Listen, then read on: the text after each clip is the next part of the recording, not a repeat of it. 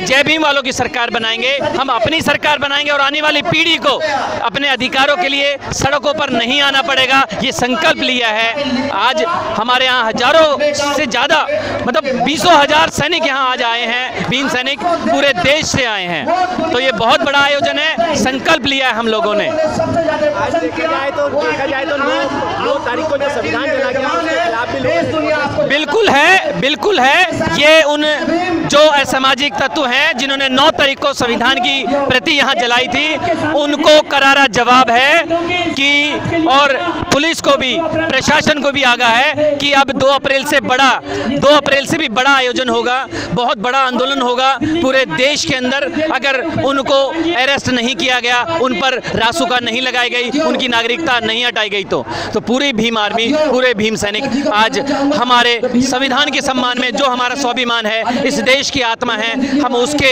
सम्मान में एक एक भीम सैनिक अपने अपने घरों से निकल कर आया है और ये आगाह कर रहा है उस मनुवादी सरकार को कि अब ये देश संविधान से चलता है और संविधान से ही चलेगा। मनुस्मृति को हम किसी कीमत पर लागू नहीं होने देंगे। सभी भीम सैनिकों से ये निवेदन करता हूँ कि जो संविधान चलाने वाले लोग हैं, उनके लिए करारा जवाब एक होगा।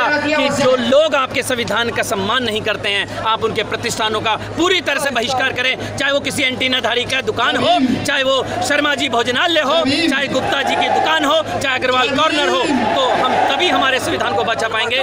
क्योंकि क्योंकि हम लोगों ने ही उनको पैसे देकर मज़बूत बनाया है। आज हमें पता है कि हम उनको पाल रहे हैं। आज हमें ज़रूरत है इस बात की सच्चाई को जानने की कि हम उनका पूरी तरह से बहिष्कार करेंगे। हम उनकी दुकानों से सामान नहीं खरीदेंगे। हम अपने ही अपने ही बहुजन भाइयों की दुकानों से सामान खरीदेंगे मेरे दोस्तों। ये संदेश है। जय भीम, जय भारत।